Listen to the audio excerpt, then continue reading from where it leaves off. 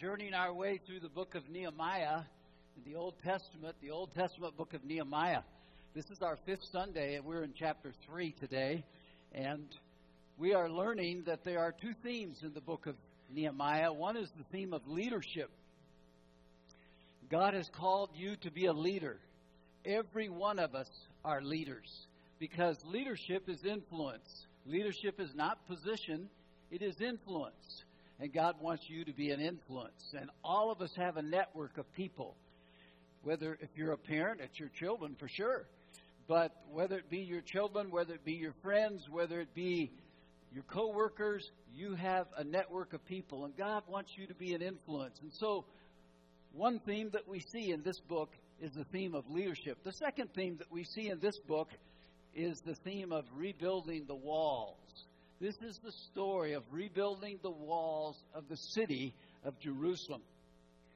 Now, Jerusalem was very significant in Nehemiah's day because it was the city, the city of David, you remember. And there was the temple. And there God literally dwelt, his presence there. And now today, God does not dwell in a city, in a building. Today, God dwells in his believers. What know you not that your body is a temple of God? 1 Corinthians 6 says. And so when you receive Jesus Christ into your heart, you become a temple of God. God lives within you. And so we are learning that the walls must be built in our own life, uh, the spiritual walls. And sometimes we say, oh my, the devil has broken down the walls. He has come in. He has caused pain. He has caused uh, some damage, some ruin. And we are a reproach sometimes and not good. And so the second theme is rebuilding the walls of my life, of your life.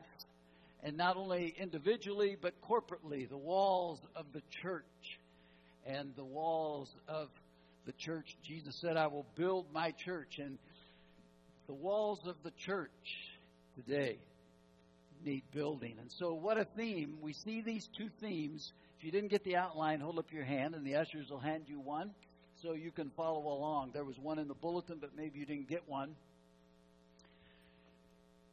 In David's day, a thousand years before Jesus, Israel was in its zenith of glory.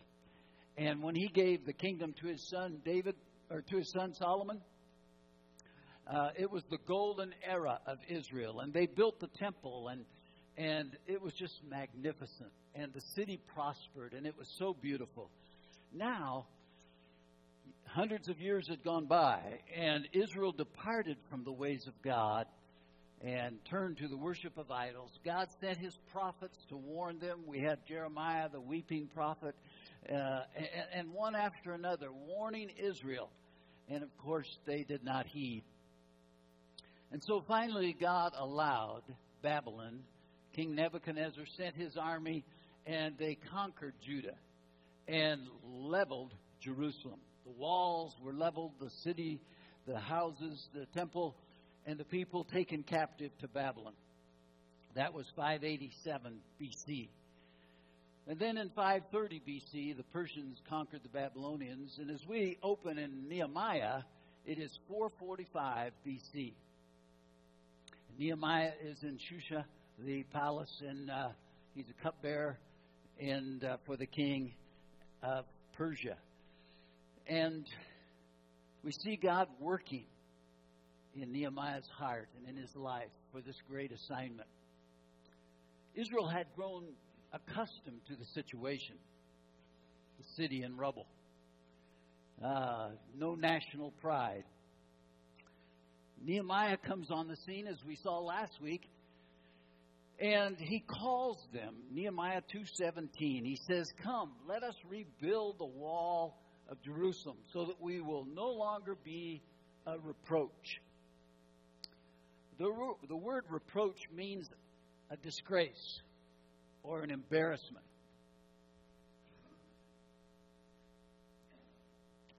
Let's not be an embarrassment. A city without walls in those days was a city without any protection, without any safety. You really couldn't let your children go out to play. I mean, you couldn't let your wife go down to the corner, corner grocery store.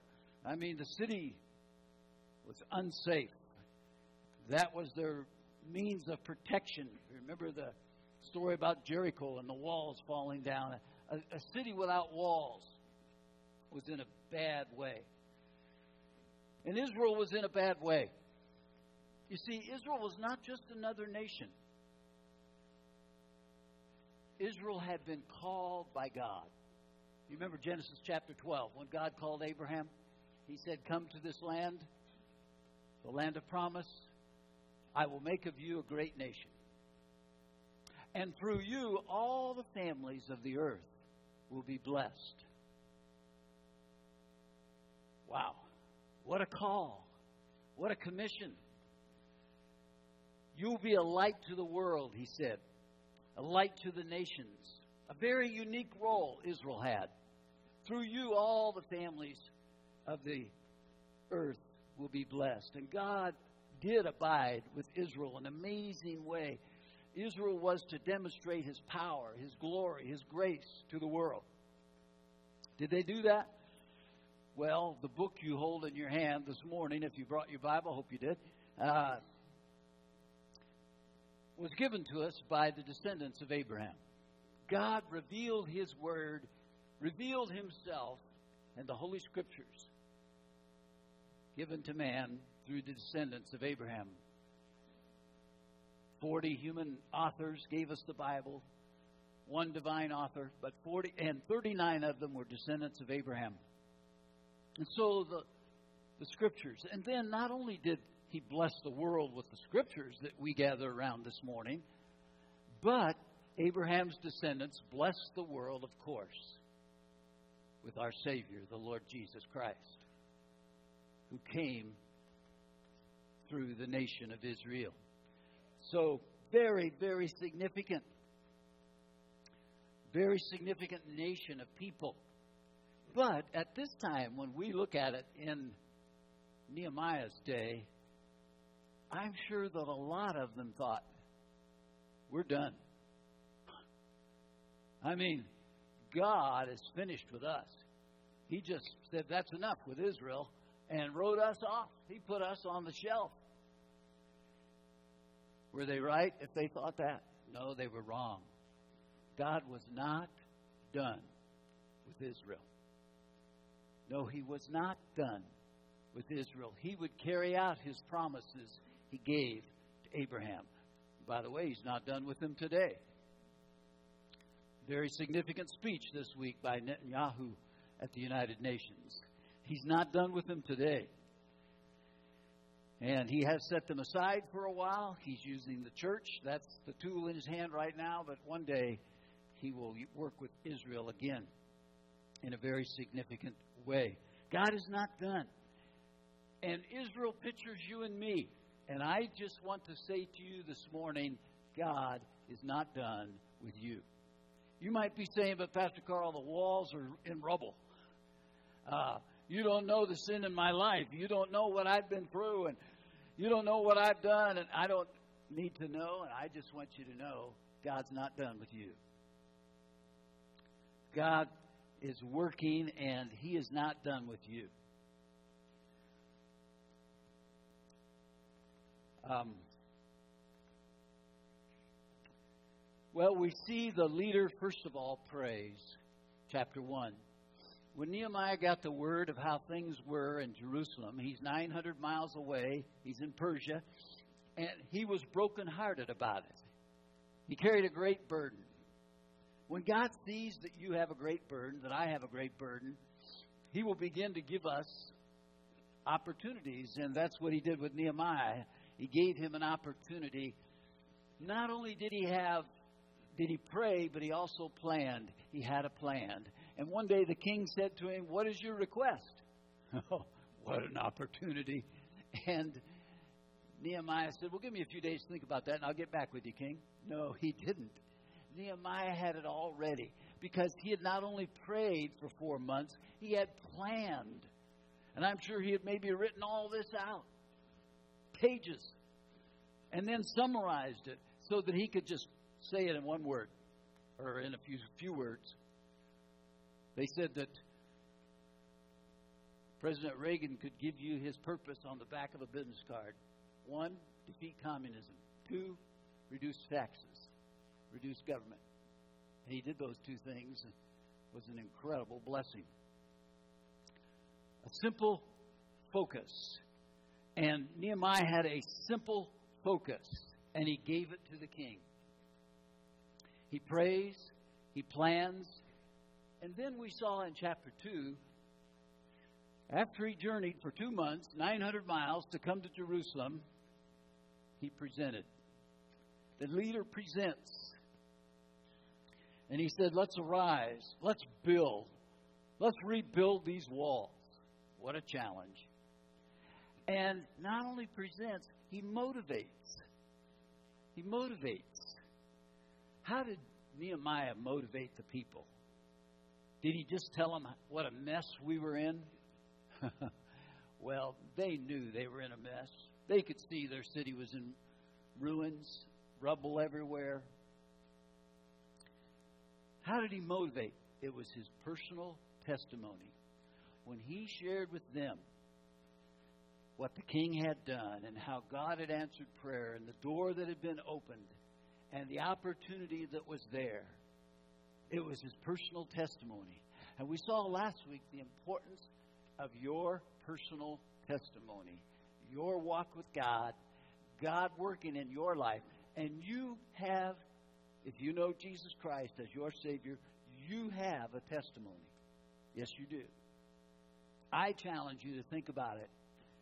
I challenge you to get a notebook or something and write a page of your testimony and share it.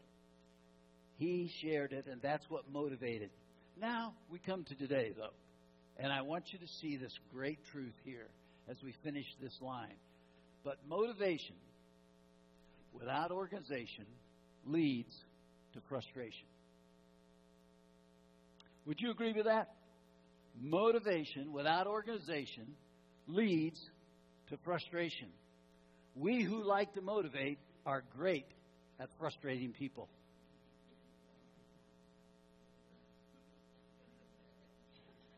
Been there, done that, haven't we? Yes, sir. And all the nerds are saying, oh, that's so true. And the free spirit folk are saying that's the way it is, you know. And and so we need each other. And uh, I don't know if Nehemiah had all these gifts. If he did, I'm just astounded. It does seem like he did, frankly, to be honest with you. And I'm so jealous of people who have, you know, 10 talents and have all the gifts. I don't know. But if he didn't, at least he got people around him who were organizational geniuses and helped him. Because here we are, chapter 3. And chapter 3, I am not even going to begin to read this chapter today. Because it is filled with names that I can't pronounce. I don't know why they didn't call them just Pete and Harry and Frank and Joe and Fred. And no, they got all these big, long names. But that's what chapter 3 is. It is 32 verses of names. That's what it is. The whole chapter, 32 verses of names. And it, here's what it is it is it describes wall to wall workers. That's what it is. Somebody said to me just this morning, Are we ever going to get started on this wall? We are. Here we are. The people are working. Chapter 3. They have gone to work. They have rolled up their sleeves.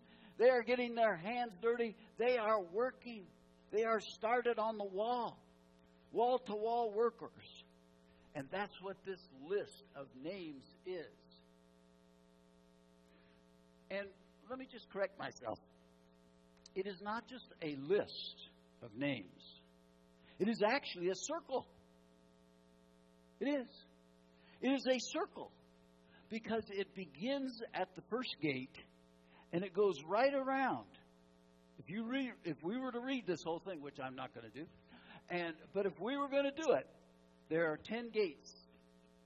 It's taking you right around the city from east to west, and it comes right back to the first gate.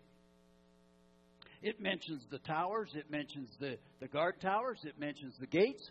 It is I think this was on Nehemiah's wall in his construction trailer. The names of the people who were in charge of the certain sections of the wall.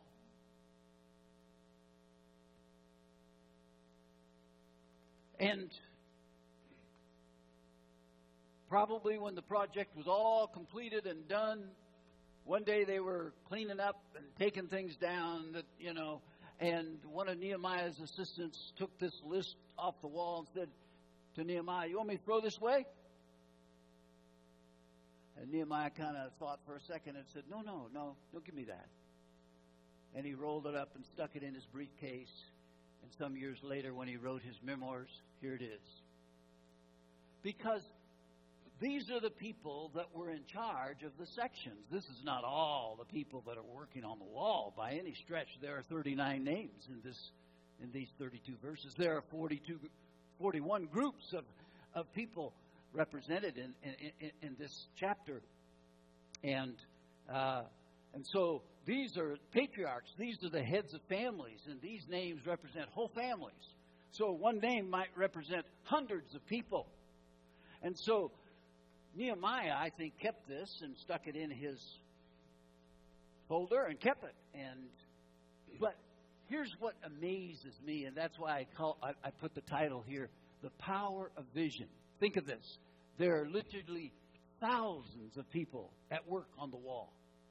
In fact, in chapter seven, he lists how many people are at Jerusalem. It's forty some thousand, about fifty thousand people. I don't know how many are working on the wall. But I, I, I know this. There were thousands of people. These 39 names are not all the people working by any stretch. They'd have never. They'd still be working on the wall. and but the power of vision. It all started because of one man, 900 miles away in Persia, praying. And God, through that prayer, gave him a vision of getting something done for him. Oh, the power of vision. I, I, I wish you could just catch that. As you pray, as you pray for those in, in your influence, whether it be your children, as you call their names in prayer, whether it be your, your, your friend, your coworkers, your, your, as you pray, you know what? If you pray for them enough, God will give you a, a picture, and that's what I mean by vision, a, a picture of the future, of and, and you'll see. And you'll have a vision for them. And as you share that vision for them, it, it, it becomes, your children catch it, and it becomes something that is exciting and, and it is, it is a picture of the future. Visions create something within us that is exciting. It motivates us. And, and here we see it in chapter 3. Well, let's look at verse 1. I'll at least read that, okay? Then Eliashib, the high priest, arose with his brothers, the priests, and built the sheep gate. They consecrated it and hung its doors. They consecrated the wall to the tower of the hundred and the tower of Hananel. Well, there's verse 1. The sheep gate. It begins with the sheep gate. Ah, ah, let's jump verse 32, shall we not? The last verse. Between the upper room of the corner and the sheep gate, the goldsmith and merchants carried out repairs. Well, isn't that something? I told you it was a circle, didn't I? It started at the sheep gate and it went all the way around. If you read the whole chapter, which I'm not going to do today, but it goes all the way around, and there's 10 gates, and they're all mentioned in here. And it comes back where? To the sheep gate. I want you to see this. Everything begins and ends with the sheep gate. Why is that? Listen to me. Untold thousands, untold thousands of sheep came through that gate over the years. because the temple sat just inside the sheep gate, the place of worship. And when you went to church in that day, you didn't come without a sheep, without a lamb, without a blood sacrifice. Um, as a family, there was one lamb per family, and, and, and you came with a, with a sacrifice. That's the only way you could come to God. Because God said, without the shedding of blood, there is no forgiveness of sin. The wages of sin is death.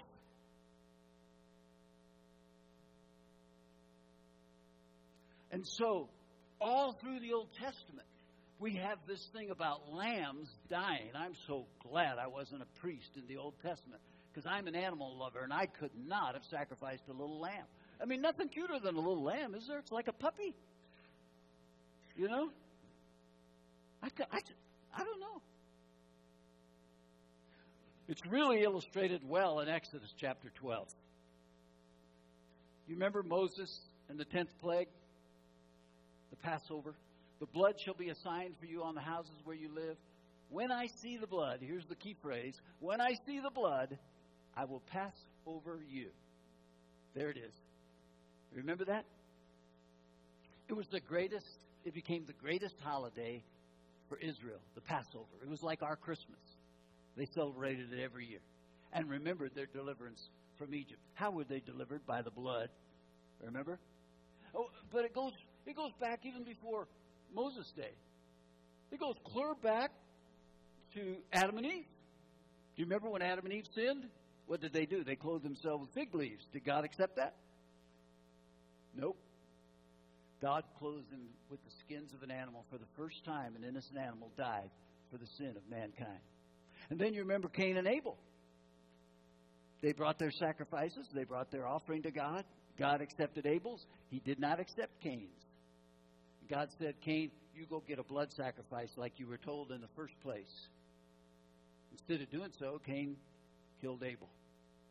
And from that day to this day, the, those who believe in the blood sacrifice have been persecuted, just as we saw this week in Oregon. And, and it's happened all down through history. The devil puts it in the heart of those who do not believe in a blood sacrifice somehow. This world has never been a friend of grace, but it's always been God's method that the innocent dies for the guilty. Always has until one day all those lambs that pointed to the lamb. One day John was baptizing in the Jordan and he saw Jesus coming and he said, Behold the Lamb. Behold the Lamb of God who takes away the sin of the world. Jesus, the sacrifice for my sins, for yours. That's why you didn't have to bring a lamb this morning. In a sense, you did bring one. Jesus, who already shed his blood our healing begins at the sheep gate. This is where it all starts. This is the beginning of building the walls against evil in my life and your life. It begins at the sheep gate. It begins with Jesus.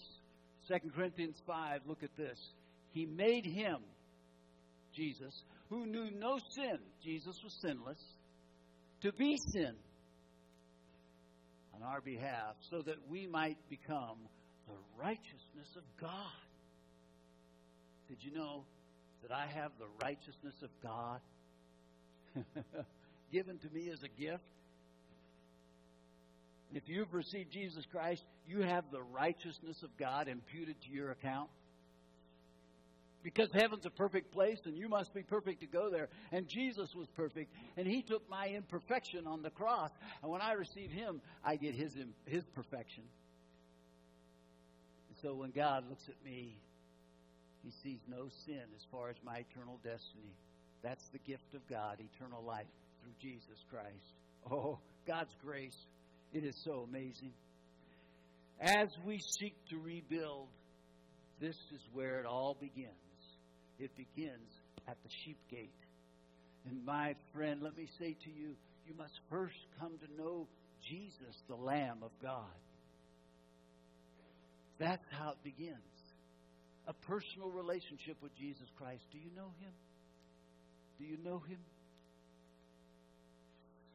Well, then we see some things that are very important in this chapter. Let me give you three very quickly. Number one, the first thing that I I see in this chapter is consolidation. Nehemiah knew he needed everybody. I need everybody to help with this great project. He understood that. And I want you to see it in verse 2 of chapter 3. Next to him, the men of Jericho built, and next to them, Zaccur, the son of Imri, built. You see that little phrase in there twice? Next to him, next to them. That phrase is in this chapter 21 times. 21 times next to them. You see, it was a human chain. People working. People working together, side by side, next to them, next to them, next to them on the wall. People working. This is a secret to a victorious church. Did you know that? It is everybody stepping up. No gaps. I mean, what good is a wall if you have a big gaping hole in it? That can't protect the city. We're united together in one great cause to get the gospel out for Jesus Christ. United together. Unity brings blessings. Did you know that? God loves it when his people unite together. In Psalm 133, behold how good and how pleasant it is for brothers to dwell together in unity. This is God saying this. This is how he views it. It is like the precious oil upon the head, coming down upon the beard, even Aaron's beard, coming down upon the edge of his robes. It is like dew of Hermon coming down on the mountains of Zion, for there the Lord commanded the blessing. Isn't that wonderful? The blessing of God. God said, when people are united, I pour out my blessing like the oil was poured on Aaron when he was anointed I pour out my blessing like the dew on the mountains of Hermon. Oh, it's so beautiful. God said, I love, I love it when people pull together. There are 39 names here. They are groups of people. It would be as if, let's say we're building a wall around Lincoln. You've seen the little wall along the interstate, you know, that keeps the interstate from the houses or something, I guess. You know, uh, I sort of picture that, you know, only it's probably much, much bigger. Suppose we're building a wall around Lincoln and maybe they assign our church, Calvary, from Benton Street down here over to Superior Street. And maybe in the construction trailer, all it would say was Calvary Community Church.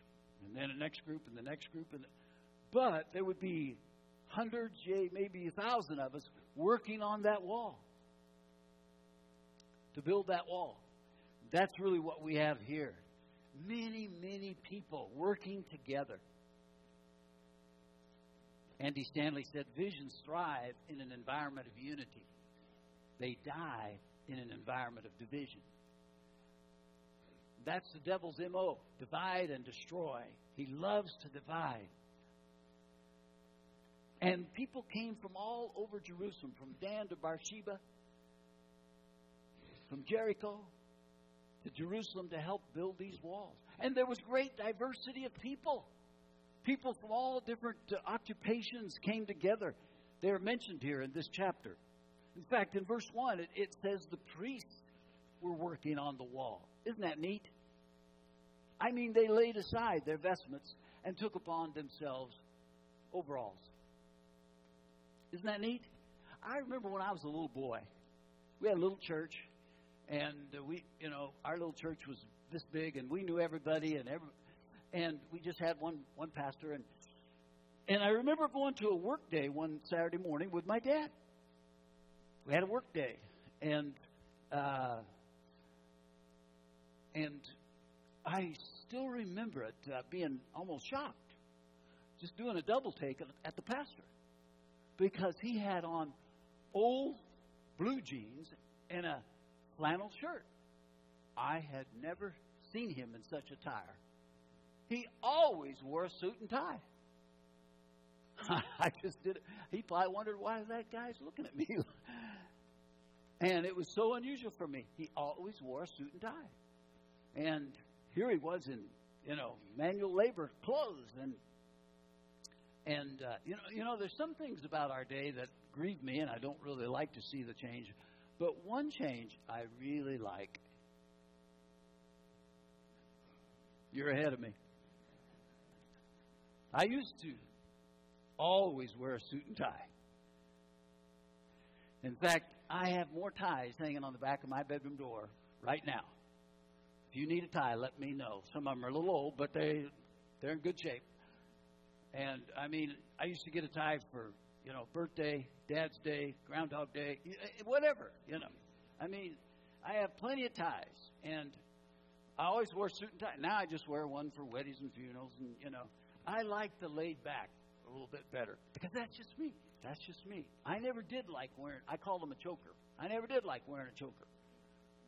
I never forget. Uh, I used to always do the prayer before the message, like Mitch did today, and he always does for me, and I appreciate that. And but we didn't have a, a pastor as a worship leader then, and, and so I always did the prayer blessing before going into the message. And one time I was doing the prayer before going into the message, and while I was praying, while I was praying, all of a sudden, somebody was messing with my tie. And I opened one eye, and my wife had come up on the platform and straightening my tie.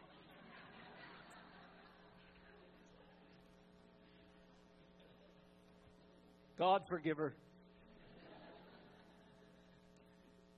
I never did like wearing one of those things. Never was very good at it. But how did I get off on that? Anyway, uh, the priests, they were in their work clothes, or, you know, for them it really wasn't their work clothes were their vestments, but they were in their manual work clothes. And what a great thing. And uh, wonderful. And by the way, we had a work day yesterday. How many of you came? Let me see your hands. God bless you. God bless you for coming. Thank you very much. And uh, I, I, was hurrying around trying to get here because I had a morning thing, and and uh, I was just about to leave the house, and I got a text from Gail said, "Never mind, they're all done." And so, anyway, I didn't get into my, uh, so I feel like a hypocrite preaching this way this morning. But uh, they came from all over. They came with, uh, they were goldsmiths. They were perfumers, merchants. Oh, look at verse twelve. Look at verse twelve. Next to him Shallum, the son of Hallohesh, and the official of half the district of Jerusalem, made repairs, he and his daughters. Isn't that something?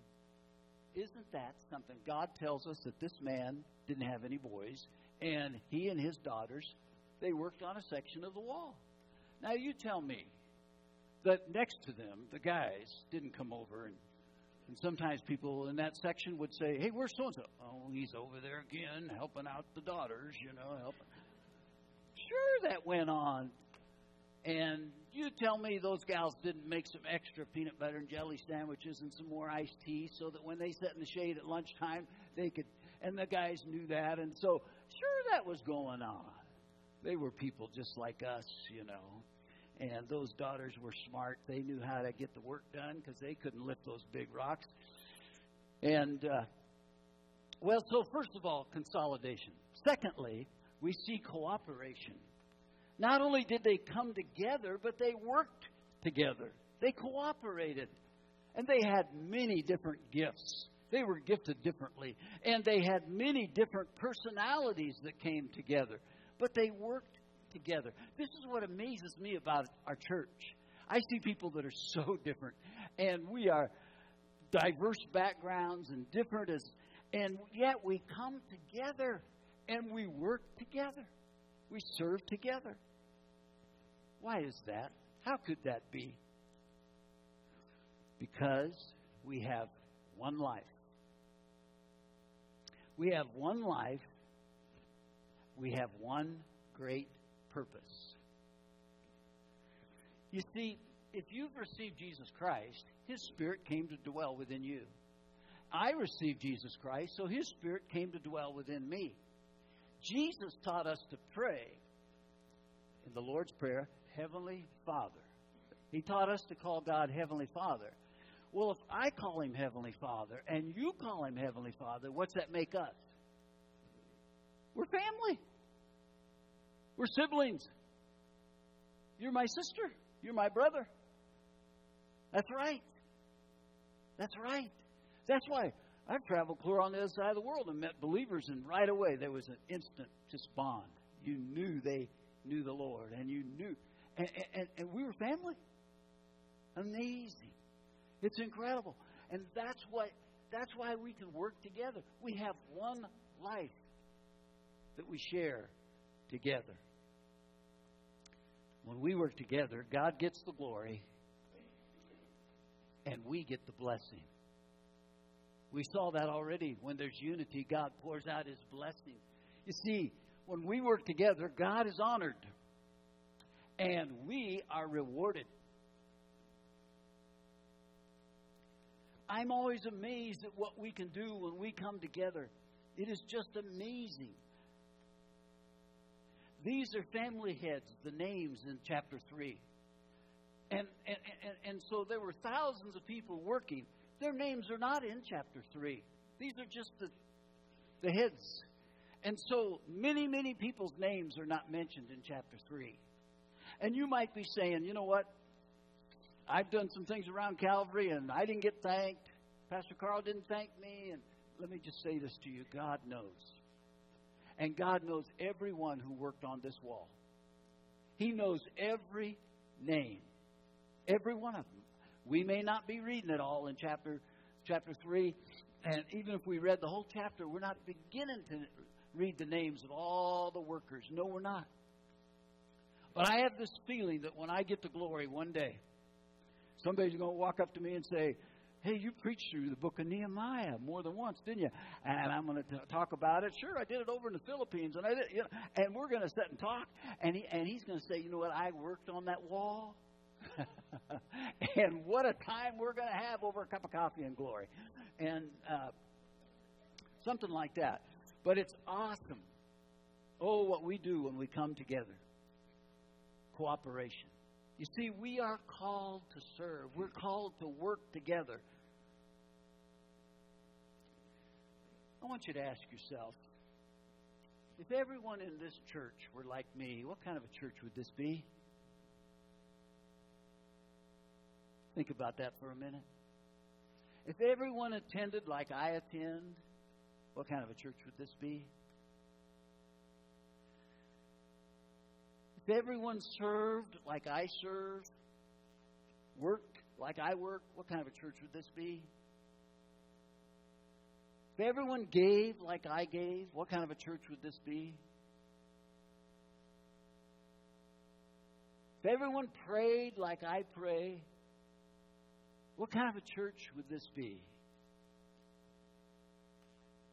Cooperation. Nehemiah basically got everybody to work.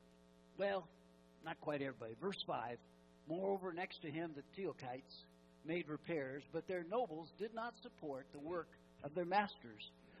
so some people refuse to work. Hey, that's always the case, isn't it? Don't let it bother you. It didn't bother Nehemiah. He just went forward. But there's always some who are aristocrats and they just don't want to do manual labor, I guess, or whatever. I mean, Paul was a tent maker. Jesus was a carpenter, you know. Well, consolidation, cooperation, one more thing confirmation. Confirmation. Let me say this to you Nehemiah was an encourager. He was an encourager. He knew how to encourage people. He really did. We see it in verse 10. Next to them, Jedediah, the son of Harumaph, made repairs opposite his house. Did you see that little phrase? Opposite his house. Opposite his house. His house was by the wall. Nehemiah let him work right there. We see this again in verse 23. Look at this. After them, Benjamin and Hasshub carried out repairs in front of their house. Wow. In front of their house. And then Ananiah carried out repairs beside his house. Verse 28 Above the horse gate, the priest carried out repairs, each in front of his house. And we see it several times. Nehemiah let people work where their heart was. This is what we try to do. You go around the ball diamond with us and base classes. We have base classes tonight, by the way. But we try to find out where your heart is. What makes you tick? What is your interest? And and, and try to plug you in. And uh, Nehemiah knew how to encourage people. He knew how to make people successful. We should not take faithfulness for granted. Romans 13 7 speaks of giving honor to whom honor is due. Well, let me conclude by saying this. Jesus said in Matthew 16 18, I will build my church. I will build my church. That's the greatest cause known to man. I will build my church. We get to work with him on this. We get to be co laborers. We are builders. And you know what? It is work. It is work. I want you to see 1 Timothy 3 1. Look on the screen. It is a trustworthy statement. If any man aspires to the office of an overseer, that's pastor, he gives the qualifications there in that chapter for pastors, and he has title different different but overseer he calls him there. It is a fine what? Come on, class. It is a fine what? Work. Work. 34 letter word. It is a fine work. I know you think Pastor just works one out of seven days, but he, anyway, he works. It is a fine work. And look what his job, part of his job is. Ephesians 4, look at this. He gave some apostles, some prophets, some evangelists, pastors, teachers. What for? Here it is. Here it is. For the equipping of the saints. The word saints means believers, by the way. Always in the Bible. Whenever you see it, it's believers. It's I know our Catholic friends use it for super Christians, but in the New Testament, it means believers. For the equipping of the believers for the what? Work of service. The work. The work. Let me show you one more. Here it is. Therefore, my beloved brethren, be steadfast, immovable, always abounding in the work of the Lord, knowing your toil is not in vain. Well, every Christian is called to serve. Are you serving Him? It is fun to be a part of the work of God. Not always easy, I don't mean that, but it's fun. Thank you, Heavenly Father. Thank you for letting us be a part of what you are doing. It's so awesome, and we just love it. Thank you. Join me in this prayer in your heart where you sit. I invite you to join me.